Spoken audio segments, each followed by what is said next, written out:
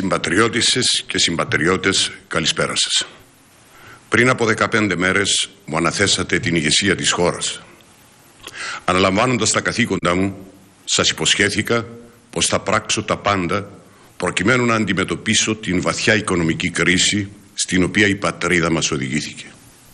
Ταυτόχρονα είχα δεσμευτεί πως με συνέπεια και με τη γλώσσα της αλήθειας όπως σας έμαθα και με ξέρετε θα απευθύνομαι σε εσάς χωρίς την δηλία του πολιτικού κόστους. Την ίδια ώρα το σύνολο των πολιτών και ο καθένας ξεχωριστά γνωρίζουν πως η Κύπρος βρίσκεται σε κατάσταση έκτακτης ανάγκης. Ζούμε δυστυχώς τις πιο τραγικές στιγμές από το 1974. Γνωρίζετε ότι έχουμε παραλάβει ένα κράτος δυστυχώς υποχρεοκοπία. Το πώς και ποιοι οδήγησαν την πατρίδα μας σε αυτή τη δινή θέση δεν είναι του παρόντος. Ούτε και είναι στις προθέσεις μου αντί της επικέντρωσης της προσοχής στο πώς αντιμετωπίζουμε την κρίση να μπούμε αυτή τη στιγμή σε μια αχρίαστη αντιπαράθεση για το ποιος και πώς η ευθύνη φέρει για τη σημερινή κατάσταση. Με αίσθημα απόλυτης ευθύνης θεωρώ υποχρέωση μου να σας ενημερώσω για την τελευταία συνεδρία του Eurocross και με απόλυτη ειλικρίνεια να παραθέσω τις πραγματικές επιλογές που εκβιαστικά τέθηκαν ενώπιον μας στο Ευρωπαϊκό Συμβούλιο. Η πρώτη επιλογή ήταν αυτή που θα οδηγούσε σε άτακτη χρεοκοπία ως αποτέλεσμα της απόφασης της Ευρωπαϊκής Κεντρικής Τράπεζας να διακόψει άμεσα την παροχή έκτακτης βοήθειας που θα διατηρούσε την ρευστότητα των δυο μεγάλων τραπεζών.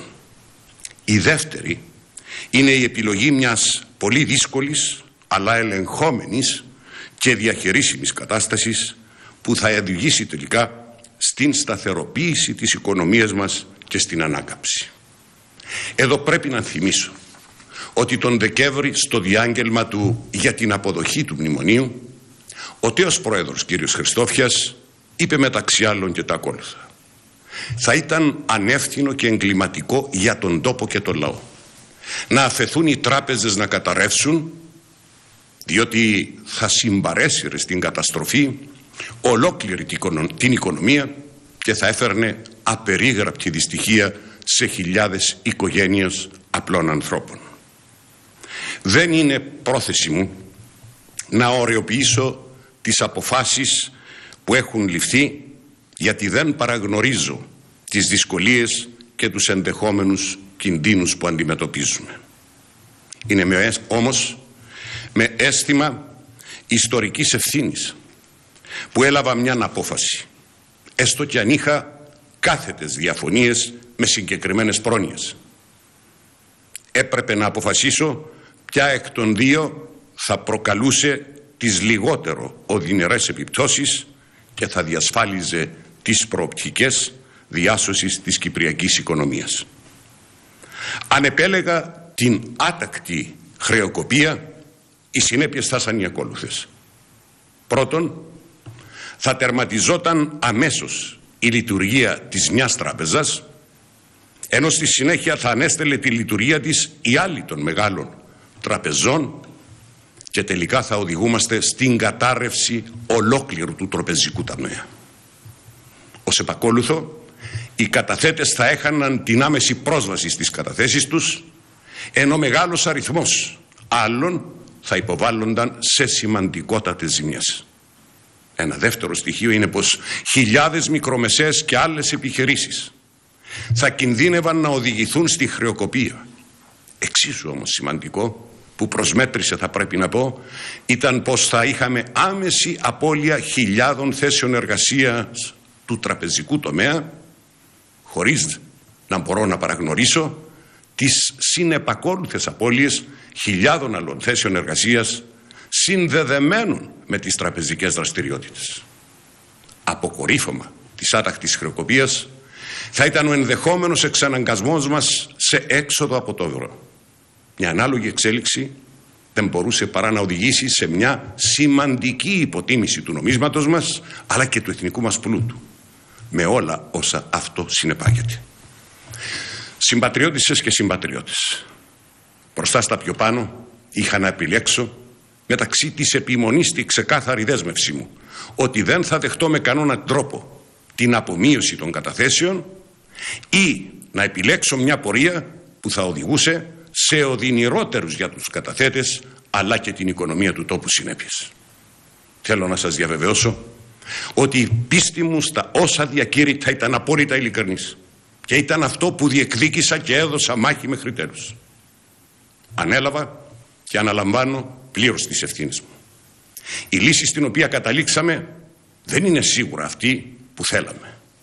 Όμως είναι η λιγότερο επώδυνη υπό τις περιστάσεις διότι πάνω απ' όλα αφήνει στα δικά μας και χέρια την διαχείριση της οικονομίας μας. Στην απόφαση μου προσμέτρησαν πέραν των αρνητικών συνεπειών που ήδη έχω αναφέρει και μια σειρά άλλων παραγόντων όπως η προτινόμενη συνεισφορά των κατατεθών, των καταθετών περιορίζεται στο εισόδημα των επιτοκίων που στην ουσία δεν υπερβαίνει τα δύο χρόνια. Δεύτερο, πιο σημαντικό ή εξίσου σημαντικό είναι το γεγονός ότι η όποια συνεισφορά θα γίνει μια και μόνη φορά και θέλω να το υπερτονίσω αφού μέσα από την πρόταση αυτή διασφαλίζεται οριστικά αλλά και αμετάκλητα η βιωσιμότητα του δημοσίου χρέους. Πέραν τούτου οι μελλοντικές γενιές απολάσσονται από τα δικά μας λάθη.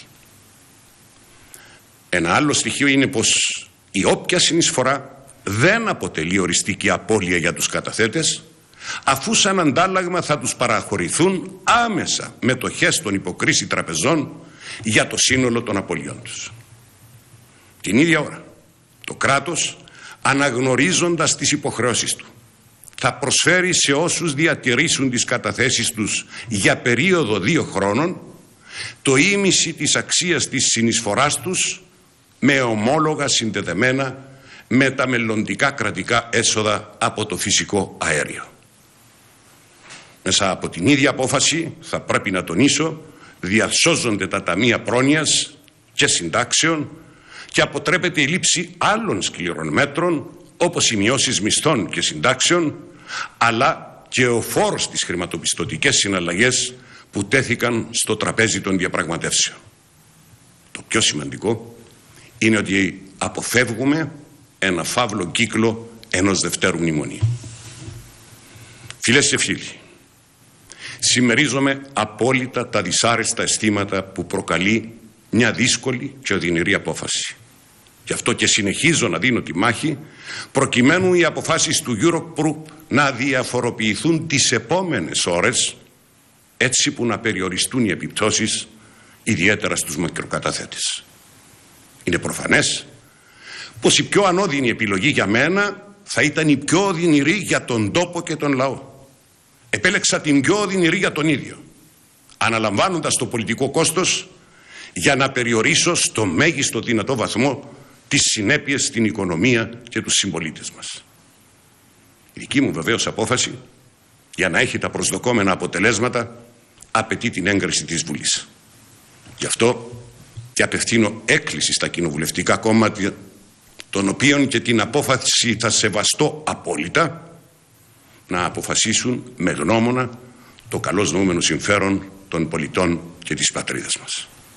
Ελπίζω ότι όλοι μαζί με βάση τα δεδομένα όπως διαμορφώθηκαν θα πάρουμε τις σοφότερες αποφάσεις. Ο δρόμος μας σίγουρα δεν είναι εύκολος. Έχω όμως απόλυτη εμπιστοσύνη στην εργατικότητα, την αποφασιστικότητα και το πείσμα του Κυπριακού Ελληνισμού. Με συλλογικές και υπεύθυνες αποφάσεις είμαι βέβαιος πως θα τα καταφέρουμε. Σας ευχαριστώ. Καληνύχτα.